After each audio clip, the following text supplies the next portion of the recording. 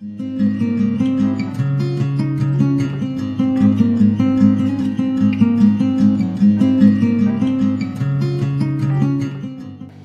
friends, welcome to EduTricks with Renu.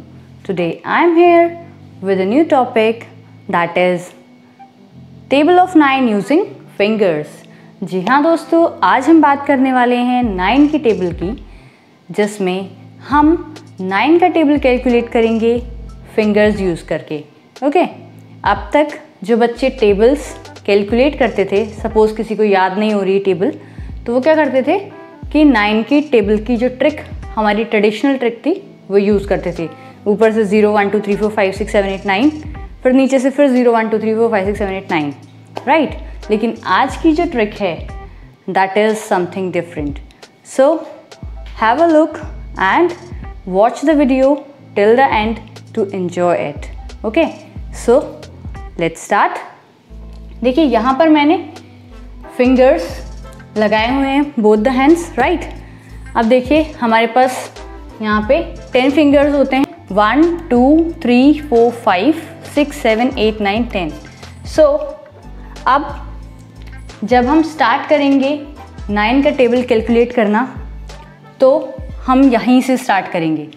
तो ध्यान से देखिए देखिए, अब हमें करना है nine into one is what हमें नहीं पता। इफ़ सपोज़ ठीक है? हमें नहीं पता अगर तो क्या करना है? कोई मल्टीप्लिकेशन नहीं है, कोई डिवीज़न नहीं है, कोई एडिशन नहीं है और ना ही सब्ट्रैक्शन है। ठीक है?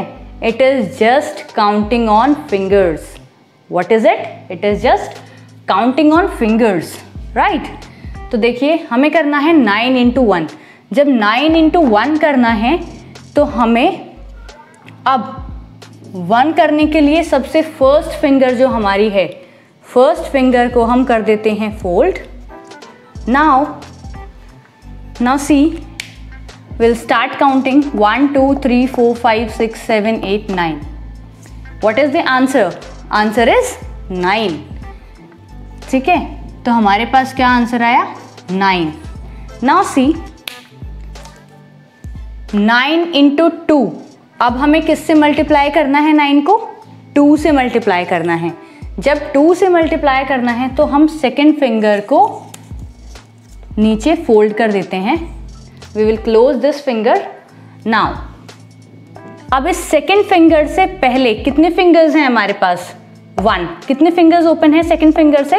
वन तो हम यहाँ पर क्या लिख देते हैं? वन प्रीवियस केस में हमारे पास फ़र्स्ट फिंगर के पहले कोई फिंगर नहीं थी तो हम यहाँ पर ज़ीरो भी लिख सकते हैं। ज़ीरो लिखिए, नहीं लिखिए that is up to you both the things are same ठीक है? तो अब सेकेंड केस में हमारे पास, हमने यहाँ पे सेकेंड फिंगर को क्लोज कर लिया है तो फ़र्स्ट फिंगर है, एक ही फिंगर है सेकेंड से पहले तो हमने यहाँ पर वन लिख दिया है। अब बाकी की फिंगर्स को आप काउंट कर लीजिए। One two three four five six seven eight so nine two ज़ा एटीन ओके अब हमारे पास क्या आ गया है? नाइन टू ज़ा एटीन लाइक वाइज अब हमें क्या करना है? नाइन को थ्री से मल्टीप्लाई करना है. तो थ्री से मल्टीप्लाई करने के लिए close the third finger now अब पहले थर्ड फिंगर से पहले कितनी फिंगर्स बाकी हैं? ओपन टू राइट टू है. अब उसके आगे कितने फिंगर्स हैं? Open one two three four five six seven so twenty seven nine three ज़ा twenty seven. Now again nine four ज़ा अब हमें फोर से करना है तो फोर्थ फिंगर को हमने क्लोज कर देना है। बाकी कितनी फिंगर्स हैं यहाँ पर ओपन? थ्री। सो अब हमने यहाँ पर थ्री लिख दिया।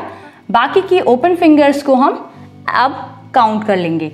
One two three four five six so nine four ज़ा is thirty six fine now अब nine into five nine into five is क्या करना है? फिफ्थ फिंगर को क्लोज कर दीजिए। तो पहले कितने फिंगर्स ओपन है? फोर राइट फोर अब बाकी की फिंगर्स काउंट करेंगे तो फाइव नाइन फाइव ज़ा is forty five now nine into six करना है। तो सिक्स फिंगर को क्लोज कर दीजिए। बाकी पहले कितने फिंगर्स हैं? फाइव और बाकी की फोर अब नाइन इंटू सेवन करना है. नाइन इंटू सेवन करने के लिए हम क्या करेंगे? सेवेंथ फिंगर को क्लोज कर देंगे.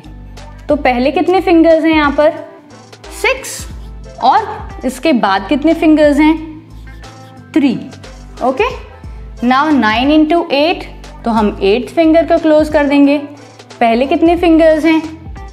सेवन ओके एंड बाकी की two so nine into eight is seventy two अब नाइन इंटू नाइन करना है तो नाइन्थ फिंगर को हम क्लोज कर देंगे। अब कितनी बाकी हैं यहाँ पर? एट एंड लास्ट में कितनी बाकी है? वन तो nine nine जाइज eighty one okay now nine into ten तो अब टेंथ फिंगर को क्लोज कर देंगे। कितने फिंगर्स हैं यहाँ पर? नाइन और इसके बाद नथिंग तो ज़ीरो तो है ना मैजिक आइडिया कितना इजी वे है फ्रेंड्स ये नाइन के टेबल को फिंगर्स के थ्रू कैलकुलेट करना। सो आई होप आपको वीडियो पसंद आया होगा। ठीक है? And for more videos subscribe on to our YouTube channel thank you thank you so much